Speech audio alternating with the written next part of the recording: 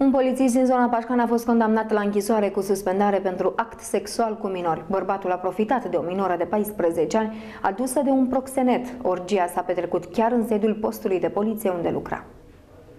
Magistrații Tribunalului Iași l-au condamnat ieri la trei ani de închisoare cu suspendare pe Ciprian Nicu Moneaga, de 36 de ani, agent de poliție la Tătăruș, pentru act sexual cu minori.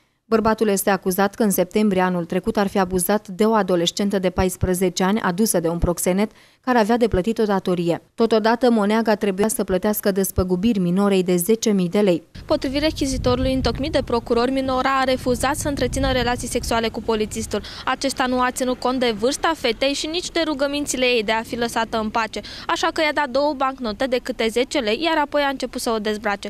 Grozăvia s-a petrecut chiar în sediu postului de poliție din Tătăruș. Pentru a nu fi văzut sau întrerupt de cineva, Moneaga a încuiat ușa clădirii și a pus o pătură în geam.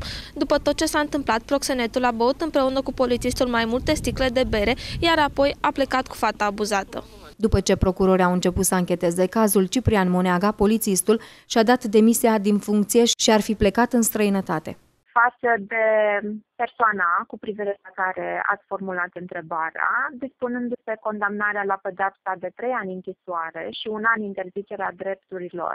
Patul și-a recunoscut uh, acuzațiile. Sentința Tribunalului Iași nu este definitivă, în cauză putându-se declara căi de atac, în același dosar penal în care a fost condamnat Moneaga se mai află un polițist din aceeași localitate. Este vorba despre Daniel Avarvarei, cercetat că ar fi întreținut raporturi sexuale cu o copilă în mașina de poliție. În acest caz, cercetările continuă.